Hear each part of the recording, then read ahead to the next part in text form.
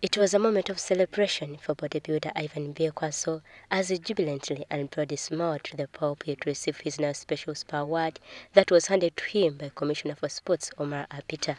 The Sports Commissioner first thanked USPA for the innovation of rewarding sports stars and confessed that the government is also developing the same scheme to recognize athletes. The fact that USPA decided to bring forward this event uh, today to recognize an athlete not in absentia, but while he is around with us in the country, because he's going away soon. I think it's very special uh, and it shows how USPA is dedicated to promoting sports in this country. Apita encouraged corporate companies to tap up athletes like Byekwaso as their brand ambassador since they are international champions. On receiving his award, Byekwaso confessed that he had to abandon football for bodybuilding, which he thought was much paying.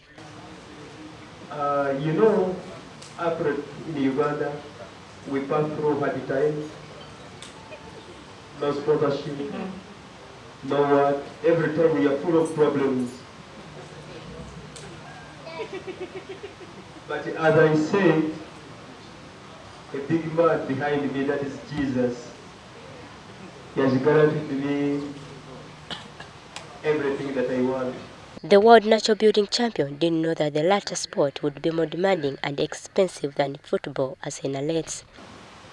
Is to have the biggest fitness center, which we, is going to help our upcoming sportsmen He, however, says after winning his first title in bodybuilding, he thought to himself that with God's blessing, he would turn out to be a world champion, a thing he has achieved.